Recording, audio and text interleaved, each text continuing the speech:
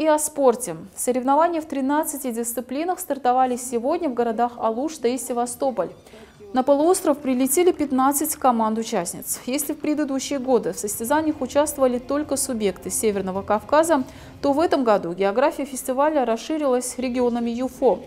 Традиционно сборная Дагестана в числе главных фаворитов. Команда у нас по всем видам укомплектована в полном составе. Это 13 видов. Ну, настрой команды, как всегда, мы настроены на лидерах, чтобы были мы всегда. Мы всегда и были чемпионами, и призерами. В этом году тоже я уверен, что команда Республики Дагестан выступит э, достойно и надеюсь, что будет тройки. На базе стадиона «Крымский» в Алуште уже завершилась предварительная часть в некоторых видах спорта.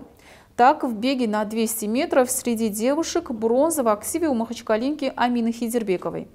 Также удачно в борьбу за медали включились дагестанские лучники, шашисты и теннисисты.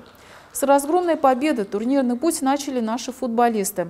Многократные победители и призеры фестиваля со счетом 5-0 обыграли сборную Калмыки и практически решили задачу выхода из группы. Как бы наша команда, она считается да, как одна из тех команд, которые больше всех выигрывали Кавказские игры. На нас настрой особый у каждой команды. И, а так хозяева, хозяева команда, потом Ставрополь, я считаю, может быть, Чечня, хорошие команды, считаю, что, которые могут составить нам конкуренцию. У вас какой настрой?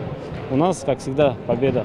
Только на победу. В эти минуты продолжаются соревнования по баскетболу, борьбе на поясах, городошному спорту и шахматам. Итоги фестиваля будут подведены завтра. Настоящим украшением станет турнир по перетягиванию каната.